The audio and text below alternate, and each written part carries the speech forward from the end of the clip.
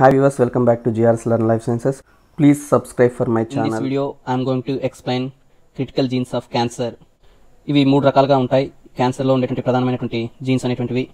వీటిని proto onco genes tumour suppressor genes and onco genes అని three టైప్స్గా వీటిని మనము చూడొచ్చు. Proto onco genes tumour suppressor genes and onco genes ఈ ప్రోటో ఆంకో జీన్స్ అంటే ఏంటి? ట్యూమర్ సప్రెసర్ జీన్స్ అంటే ఏంటి? అండ్ ఆంకో జీన్స్ అంటే ఏంటి అనేటువంటిది ఈ వీడియోలో నేను ఎక్స్ప్లెయిన్ చేయబోతున్నాను. నోటుగా ప్రోటో ఆంకో జీన్స్తో స్టార్ట్ చేద్దాం.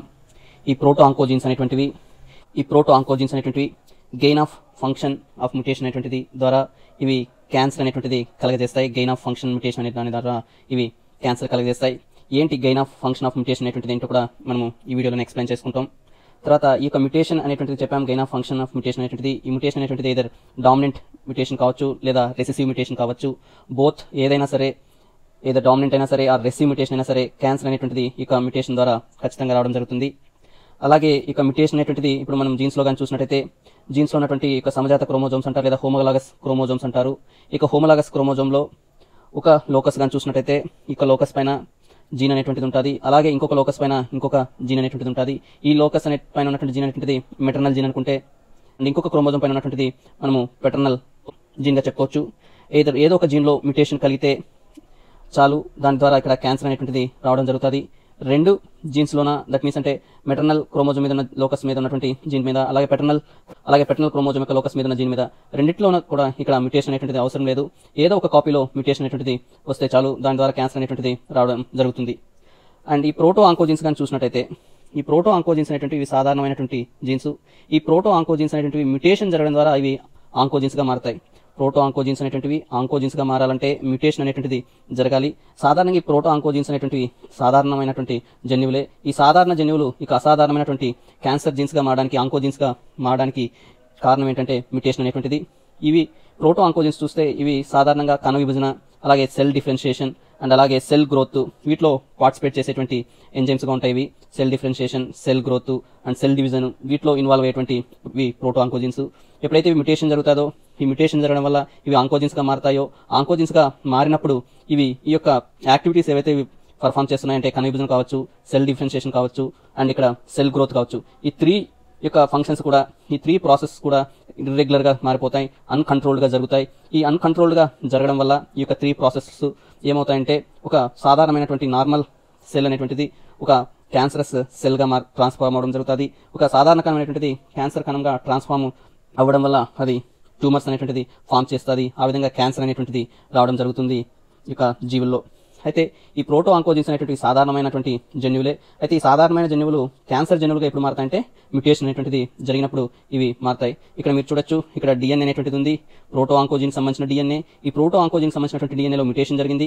ఈ మ్యుటేషన్ జరగడం వల్ల ఇది ఆంకోజిన్గా మారింది. ఈ ఆంకోజిన్గా మారినటువంటిది ఇక్కడ సెల్ డివిజన్ కావచ్చు సెల్ డిఫరెన్షియేషన్ కావచ్చు అలాగే సెల్ గ్రోత్ కావచ్చు. ఈ త్రీ ఈవెంట్స్ని ఇది అఫెక్ట్ చేయడం వల్ల కంప్లీట్గా సెల్ అనేటువంటిది ప్రొలిపరేషన్ అన్కంట్రోల్డ్గా జరుగుతుంది. అన్కంట్రోల్డ్గా సెల్ ప్రొలిపరేషన్ జరగడం అంటే అనియంత్రంగా జరుగుతుంది అంటాం ఈ అనియంత్రమైనటువంటి యొక్క సెల్ ప్రొలిపరేషన్ని మనము క్యాన్సర్గా చెప్పుకోవడం జరుగుతుంది. అయితే ఇక్కడ జరిగేటువంటి యొక్క మ్యూటేషన్స్ అనేటువంటివి చాలా రకాలుగా ఉండొచ్చు. ఈ మ్యూటేషన్స్ అనేటువంటివి. ఈ మ్యూటేషన్స్ అనేటువంటివి చూస్తే పాయింట్ మ్యూటేషన్స్ అవ్వచ్చు. క్రోమోజోమ్ ట్రాన్స్లోకేషన్స్ కావచ్చు.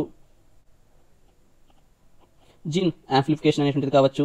సో ఇక త్రీ వేస్లో యొక్క ప్రోటో ఆంకోజిన్ అనేటువంటిది ఒక ఆంకోజిన్గా మారుతుంది. ఒకటి పాయింట్ మ్యూటేషన్ కావచ్చు పాయింట్ మ్యూటేషన్లో మళ్ళీ అది ట్రాన్స్లేషన్ కావచ్చు ట్రాన్స్వర్షన్ కావచ్చు ఫ్రేమ్ షిఫ్ట్ అనేటువంటిది కావచ్చు అడిషన్ కావచ్చు డిలీషన్ కావచ్చు.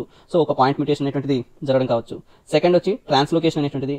అంటే ఇక్కడ ట్రాన్స్లోకేషన్లో అంటే ఒక క్రోమోజోమ్ నుంచి ఒక సెగ్మెంట్ ఆఫ్ డిఎన్ అనేటువంటిది ఇంకొక క్రోమోజోమ్లో కానీ అంటే ఒక క్రోమోజోమ్ నుంచి డిఎన్ఏ ఇంకో క్రోమోజోమ్ మీద కానీ డిఎన్ఏ చేస్తే దాన్ని ట్రాన్స్లోకేషన్ అని చెప్పి చెప్తారు. అలాగే జీన్ యాంప్లిఫికేషన్ అనేటువంటిది. అంటే ఒక జీన్కి సంబంధించినటువంటి కాపీస్ అనేటువంటివి అధికంగా అవడం వలన ఒక కణంలో ఆ విధంగా జీన్ అప్లికేషన్ వల్ల వచ్చేటువంటి ప్రొడక్ట్స్ అనేటువంటిది అధికమవుతాయి. ఉదాహరణకి ఒక జీన్ అప్లికేషన్ అంటే ఒక రిసెప్టర్ అంటే ఒక గ్రోత్ రిసెప్టర్ అనేటువంటిది సంబంధించి చూస్తే సాధారణమైన కణంలో సపోజ్కి రెండు copies of two copies of ఈ యొక్క గ్రోత్ రిసెప్టర్ జీన్స్ అనేటువంటి ఉన్నాయనుకోండి ఒక ఎక్స్ సంబంధించినటువంటి గ్రోత్ రిసెప్టర్స్ ఈ యొక్క జీన్ అప్లికేషన్ చెందడం వల్ల ఈ యొక్క ఎక్స్ అనేటువంటి గ్రోత్ రిసెప్టర్ అనేటువంటిది టెన్ కాపీస్ అవుతుంది. ఈ టెన్ కాపీస్ అనేటువంటి గ్రోత్ రిసెప్టర్ వల్ల ఈ యొక్క ఫంక్షన్ అనేటువంటిది అధికమవుతుంది. ఫంక్షన్ అధికం అవడం వల్ల ఈ యొక్క కణాలు అనేటువంటివి గ్రోత్ అనేటువంటిది అధికం అవడం జరుగుతుంది అంటే వాటి యొక్క వృద్ధి అనేటువంటిది అధికమవుతాయి. సో ఈ విధంగా ఒక ప్రోటో ఆంకోజిన్ ఆంకోజిన్గా మార్పు చెంది అంటే పాయింట్ మ్యూటేషన్స్ వల్ల కావచ్చు అండ్ ట్రాన్స్లోకేషన్స్ వల్ల కావచ్చు జీన్ యాంప్లిఫికేషన్ వల్ల కావచ్చు ఇవి ఏమవుతున్నాయంటే ఏర్పడేటువంటి వాటి యొక్క ఉత్పన్నాలు ఉన్నాయో ప్రొడక్ట్స్ అనేటువంటి మార్పు చెందుతాయి. ఆ ప్రొడక్ట్స్లో మార్పు రావడం వల్ల యొక్క ఆంకోజిన్ ప్రొడక్ట్స్ అనేటువంటివి ఇక సెల్ రెగ్యులేషన్ని అఫెక్ట్ చేస్తాయి. సెల్ రెగ్యులేషన్ అఫెక్ట్ అవ్వడం వల్ల మనము క్యాన్సర్ అనేటువంటిది రావడం గమనించవచ్చు. ఇక్కడ చూద్దాం. Point mutation and gene amplification chromosomal translocation ద్వారా విధంగా ఈ యొక్క ఆంకోజిన్స్ ప్రోటో ఆంకోజిన్స్ నుంచి ఏర్పడతాయి అనేది. ఇది ఒక ప్రోటో ఆంకోజిన్ ఈ ప్రోటో ఆంకోజిన్లో ప్రమోటర్ రీజన్ అనేటువంటిది ఉంది. And codon region coding region అనేటువంటిది ఉంది. స్ట్రక్చరల్ జీన్ రీజన్ ఈ యొక్క ప్రోటో ఆంకోజిన్లో మ్యూటేషన్స్ అనేటువంటిది జరగడం ద్వారా అంటే అవి కెమికల్ మ్యూటేషన్స్ కావచ్చు వేరే రకమైనటువంటి కారణాల వల్ల కావచ్చు అదొక ఒక మ్యూటేషన్ అనేటువంటిది జరిగినప్పుడు ఇక మ్యూటేషన్ అనేటువంటిది ఇక్కడ ప్రమోటర్ రీజన్లో కావచ్చు అంటే కంట్రోల్ రీజన్లో జరగచ్చు లేదంటే ఇక్కడ ఉన్నటువంటి స్ట్రక్చరల్ రీజన్లో జరగచ్చు. ఇక్కడ చూడండి ఇక ఫస్ట్ ప్రోటాంకోజన్ చూడండి ఇక ఫస్ట్ ప్రోటాంకోజన్లో ఇక్కడ స్ట్రక్చరల్ రీజన్లో కోడింగ్ రీజన్లో మ్యూటేషన్ జరగడం జరిగింది. ఇక కోడింగ్ రీజన్లో మ్యూటేషన్ జరగడం వల్ల ఈ యొక్క ప్రోటీన్ అనేటువంటిది హైపర్ యాక్టివ్ ప్రోటీన్ అవ్వచ్చు. ఈ హైపర్ యాక్టివ్ ప్రోటీన్ కావడం వల్ల మ్యూటేషన్ వల్ల ప్రోటీన్ అనేటువంటిది హైపర్ యాక్టివ్ అవుతుంది. హైపర్ యాక్టివ్ అవడం వల్ల దాని డౌన్ స్ట్రీమ్లో ఉన్నటువంటి ప్రోటీన్లను దాని డౌన్ స్ట్రీమ్ ఉన్నటువంటి ప్రోటీన్కి కంటిన్యూస్గా సిగ్నల్ అనేటువంటిది ట్రాన్స్డ్యూస్ చేసి ఆ విధంగా సెల్ ఆ విధంగా సెల్ యొక్క ప్రొలిపరేషన్ అనేటువంటిది పెంచడానికి అవకాశం ఉంది. అండ్ సెకండ్ ఈవెంట్ చూడండి సెకండ్లో ఇక ప్రమోటర్ రీజన్లో ఇక మ్యూటేషన్ వచ్చింది. ఇక ప్రమోటర్ రీజన్లో ఇక మ్యూటేషన్ రావడం వల్ల ఇది high amounts of gene expression అనేటువంటిది జరగచ్చు. ఇక high amounts of gene expression అనేటువంటిది జరిగి ఎక్కువ అమౌంట్ ఆఫ్ ఇక జీన్ ప్రొడక్ట్స్ అనేటువంటివి అంటే దట్ మీన్స్ ప్రోటీన్ అనేటువంటిది ఇక్కడ ప్రొడ్యూస్ చేయడానికి అవకాశం ఉంది. అలాగే జీన్ యాంప్లిఫికేషన్ ద్వారా కూడా ఇక ప్రోటో ఆంకోజిన్స్ అనేటువంటి ఆంకోజిన్స్గా చెందడం జరుగుతుంది. ఈ జీన్ డూప్లికేషన్కి ఎవల్యూషన్లో లో చాలా ప్రాముఖ్యత ప్రాధాన్యత అనేటువంటిది ఉంది.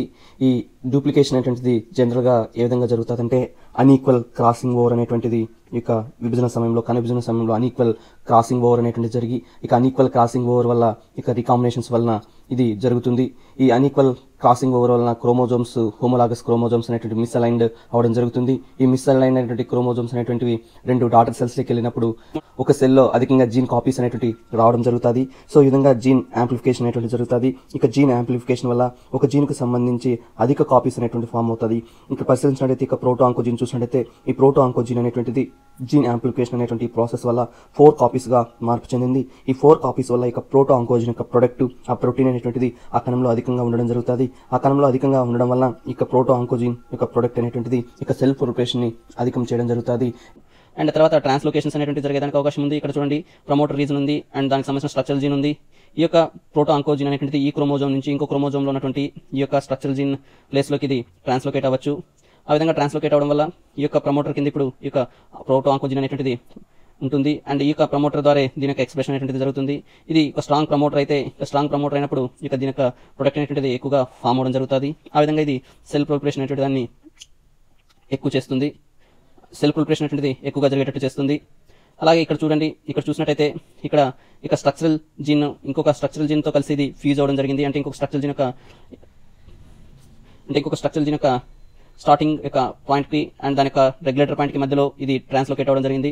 ఆ విధంగా ఇది ఒక ఫ్యూజన్ ప్రోటీన్ అనేటువంటి ఫామ్ అవడం జరుగుతుంది. ఒక ఫ్యూజన్ ప్రోటీన్ అనేటువంటి హైపర్ యాక్టివేషన్ కలిగి ఉంటుంది. ఇక హైపర్ యాక్టివేషన్ అనేటువంటి కలిగి ఉండడం వల్ల ఇది కంటిన్యూస్గా సిగ్నల్ అనేటువంటి ట్రాన్స్డ్యూస్ చేసి సెల్ ప్రొపరేషన్ అనేటువంటి అధికంగా జరిగేటట్టు చేయడం జరుగుతుంది.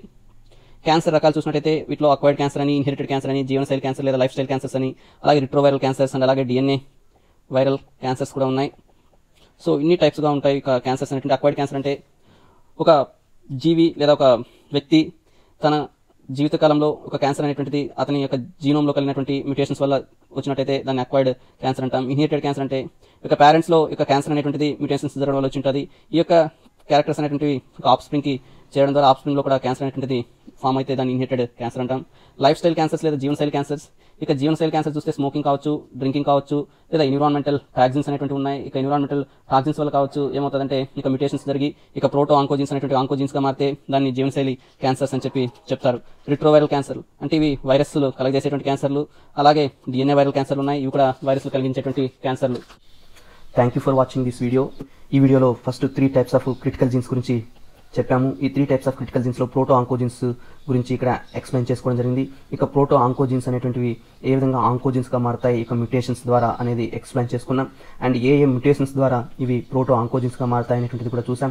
పాయింట్ మ్యూటేషన్స్ కావచ్చు జీన్ యాంప్లిఫికేషన్ కావచ్చు అండ్ క్రోమోజోమల్ ట్రాన్స్లోకేషన్ కావచ్చు. ఈ త్రీ ఈవెంట్స్ ద్వారా ప్రోటో ఆంకోజిన్స్ ఆంకోజిన్స్గా మారుతాయి. ఇక ప్రోటో ఆంకోజిన్స్ అనేటువంటి నార్మల్ జీన్స్ అని చెప్పి ఈ నార్మల్ జీన్స్ అనేటువంటి నార్మల్ ఫంక్షన్స్ అనేటువంటి పర్ఫామ్ చేస్తుంటాయి నార్మల్ ఫంక్షన్స్ అనేటువంటి సెల్ డివిజన్ కావచ్చు సెల్ డిఫరెన్షియేషన్ కావచ్చు అండ్ సెల్ గ్రోత్ కావచ్చు ఈ త్రీ ఈవెంట్స్ని ఇవి రెగ్యులేట్ చేస్తూ ఉంటాయని చెప్పి చెప్పడం జరిగింది. ఎప్పుడైతే ప్రోటో ఆంకోజీన్స్ అనేటువంటి ఆంకోజీన్స్గా మారుతాయో ఈ త్రీ ప్రాసెస్లు ఈ త్రీ ఈవెంట్స్ అనేటువంటివి డిస్రెగ్యులేట్ అవుతాయి. ఎప్పుడైతే ఇవి డిస్రెగ్యులేట్ అవుతాయో ఇవి ఎప్పుడైతే అన్కంట్రోల్గా జరుగుతాయో అప్పుడు ఒక సెల్ అనేటువంటిది నార్మల్ సెల్ అనేది ఒక ట్యూమర్ సెల్గా లేదా క్యాన్సర్ సెల్గా ట్రాన్స్ఫార్మ్ అవుతుంది. ఈ ట్రాన్స్ఫార్మ్ అయినటువంటి ట్యూమర్ సెల్ అనేటువంటిది ట్యూమర్స్ని ఫామ్ చేయడం జరుగుతుంది అని మీకు ఈ యొక్క వీడియోలో ఎక్స్ప్లెయిన్ చేశాము. నెక్స్ట్ వీడియోలో ఈ ప్రోటో ఆంకోజిన్స్ ఆంకోజిన్స్గా మారిన తర్వాత ఈ ఆంకోజిన్స్ నుంచి ఫామ్ అయ్యేటువంటి ప్రొడక్ట్స్ అనేటువంటి ఉన్నాయి. ఈ ప్రొడక్ట్స్ ఫ్యాక్టర్ రిసెప్టర్స్లో ఉంటాయి. కొన్ని సిరెంథియోనిన్ కైనేజెస్ కైనేజెస్ యాక్టివిటీగా ఉన్నటువంటివి ఫామ్ అవుతున్నాయి.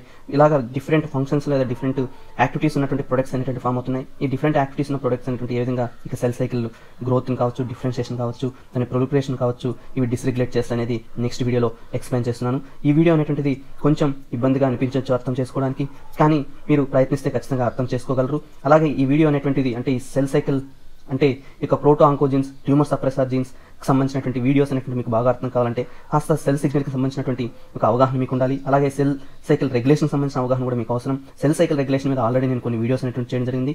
ఆ వీడియోస్ని కానీ మీరు వాచ్ చేసినట్టయితే ఖచ్చితంగా ఈ వీడియోస్ అనేటువంటివి మీకు అర్థమవుతాయి. అలాగే నేను సెల్ సిగ్నలింగ్ గురించి కూడా నేను త్వరలో వీడియోలు అనేటువంటిది అప్లోడ్ చేయబోతున్నాను. ఆ సెల్ సిగ్నలింగ్ వీడియోస్ ఈ proto oncogenes then tumour suppressor genes and cell cycle regulation ఈ మూడు వీడియోస్ మీరు చూసినట్టయితే ఖచ్చితంగా మీకు ఇక సెల్ బయాలజీలో ఏపీ సెట్లో కావచ్చు అది సిఎస్ఆర్ నెట్లో కావచ్చు ఖచ్చితంగా మీరు ఆన్సర్స్ అనేటువంటిది చేయగలరు.